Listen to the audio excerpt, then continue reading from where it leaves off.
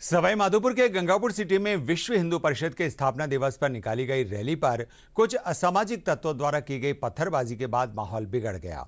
इसके बाद प्रशासन द्वारा धारा 144 लागू कर इलाके में इंटरनेट सेवाएँ बंद कर दी गईं। सवाई माधोपुर जिला कलेक्टर डॉक्टर एसपी सिंह ने बताया कि इस मामले में पाँच लोगों को गिरफ़्तार किया गया है।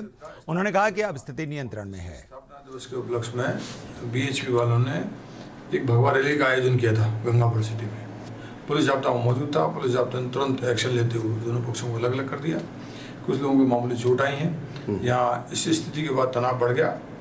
वीएचपी वाले धरने बैठ गए। अब उनसे बात हो गई और धरना उन्होंने उठा लिया है। कुछ लोग हमने डिटेन किए हैं और जल्दी से जल्दी कानूनी कार्रवाई उनके खिलाफ की